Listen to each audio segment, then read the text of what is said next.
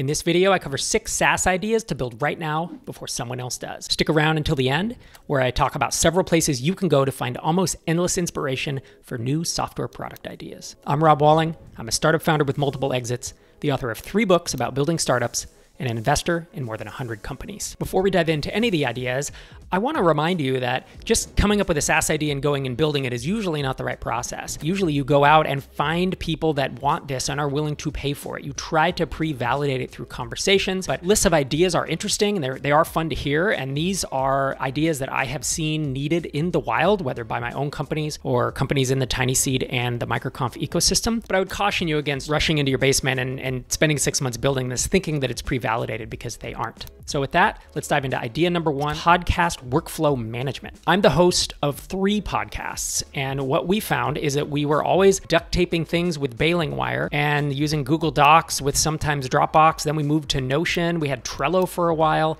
And these days, we have built basically a completely custom solution inside Airtable. It's a no code solution.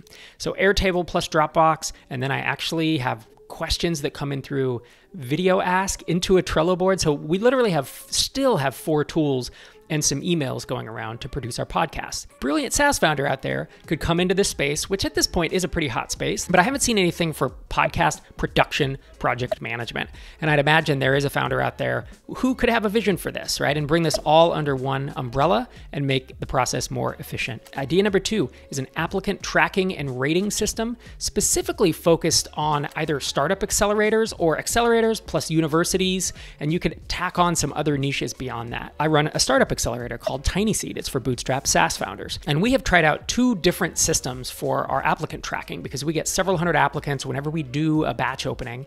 We want to go in, we want to rate them, and then we have conversations with them. We choose some to make offers, we have to reject others. And there are systems out there that do this. Systems like Submittable is one example, and there are several others that we've looked at. And what we found is between the the poor UX, the bugginess, and the inability to filter and you know run reports the way we need has really made it so we have to do a lot of exporting to Excel in order to do the work we want. And the pace of product development on these products just doesn't appear to be that great. But I think someone who could build a tool like this with good UX and still keep it relatively expensive. This is not a cheap space. It's not a cheap tool to purchase. I think someone could come in and have decent success in the space. Idea number three is pricing pages as a service. So this is probably more of a micro SaaS idea, but you can imagine how many SaaS founders or any type of startup founders are building pricing pages, then are never split testing them and have to wire up all the Stripe code and take so many more steps to get a pricing page in line. And you and I both know that there are best practices, tools like this, pricing grids for WordPress, pricing grids for other ecosystems, but I have not seen one that is a SaaS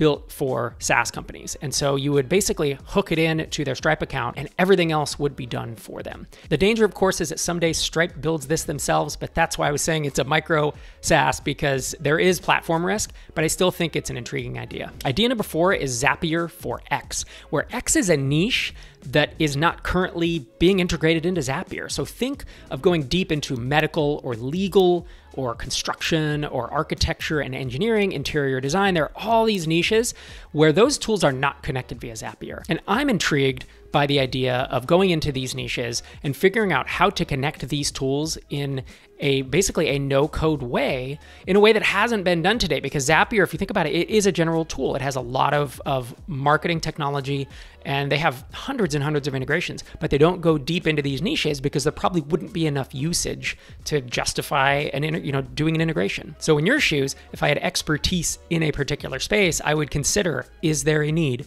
for Zapier for X. Idea number four is essentially a competitor to Intercom and Drift. So it's chat plus support plus probably some other stuff. The reason this comes up is because I don't know how many SaaS companies that I talk to, especially early stage startups, that are frustrated with these tools. These tools now have tended to move up market as they do. They sell at high price points and they sell to enterprises. And I believe that there is quite a bit of room in the bottom of this market. And it doesn't mean you have to be super cheap. Infusionsoft was charging four and $500 a month. I built a startup called Drip that competed with them. Didn't mean I had to char- have to charge $10 a month, but there was definitely room in that 50 to $300 range for us to undercut them on price while we built a brand. And I know that there are a lot of folks that are unhappy with Intercom due to price increases, and I think there's room in this space. This would not be micro SaaS, and it would probably not be the first SaaS I built because it's going to be extremely competitive. But if you've stair stepped your way up and you're ready to get into a competitive, large space that's a proven market, I would consider this idea. And the sixth SaaS idea is an investor update and reporting dashboard.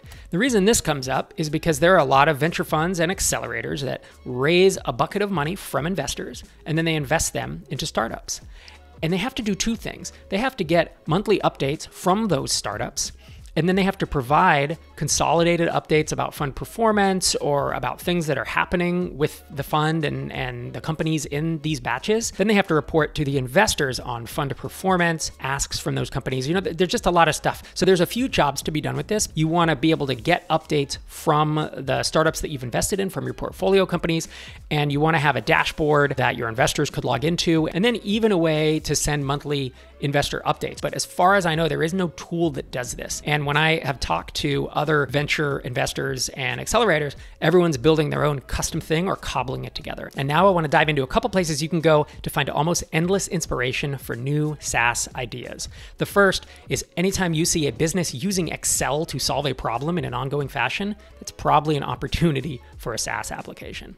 The second is no code, just the no code space in general. I think that there there's so many tools being built in that space and there's so much potential. But if you are a no code expert, can become a no code expert or can talk to no code experts and find out where the edges are and where things are, you know, falling off or need extra tooling, I think there's a lot of opportunity in that space. And the third and final is to look at B2B SaaS marketplaces, figure out some tools that have been built into these marketplaces that are not already in other marketplaces. So we're going to link in the show notes an article that has 68 B2B B2B SaaS marketplaces with opportunities for indie hackers. If you have expertise in one of these areas, or you just want to open all the marketing marketplaces and figure out where are the opportunities here, like sift through them and be, oh, this is a great idea. And that appears to be doing well. It has a lot of ratings. Does that app that's in the Shopify app store also exist over here in the WooCommerce app store? Or is that app in the MailChimp app store also available in this other, you know, competitor of MailChimp app store? And so this approach is definitely more like building step one of the stair step approach, right? It's building that small first app to get to the point where you have financial freedom such that you can focus on bigger ideas. But I'm a big believer in these SaaS app stores, these marketplaces. And even though there's platform risk, they take so much of the headache away from you as the founder in the early days that I believe it's valuable to look at them as opportunities. If you enjoyed this video, I'd love it if you'd hit the like button, subscribe to the channel. We have videos coming out like this every week. Hope you enjoyed those SaaS ideas. I'll see you in the next video.